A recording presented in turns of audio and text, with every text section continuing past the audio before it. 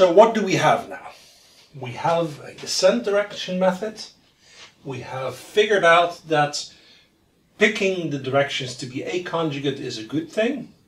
We have concluded that there are A conjugate directions to be had and there exists a A conjugate direction that is not orthogonal to the current residual so that we can make progress.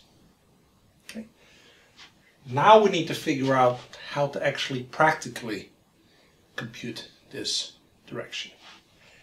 And hmm, what might be a good direction?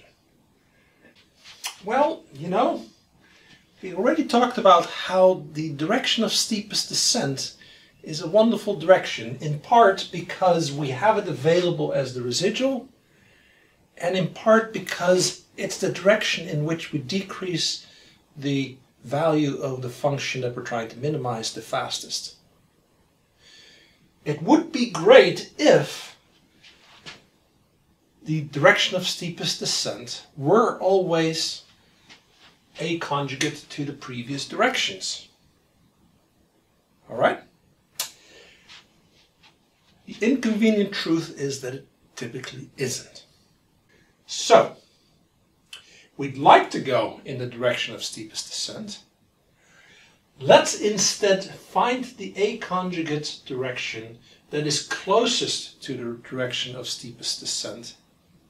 Okay? In other words, let's minimize over all vectors that are A orthogonal to the previous directions the 2 norm of the residual and those vectors.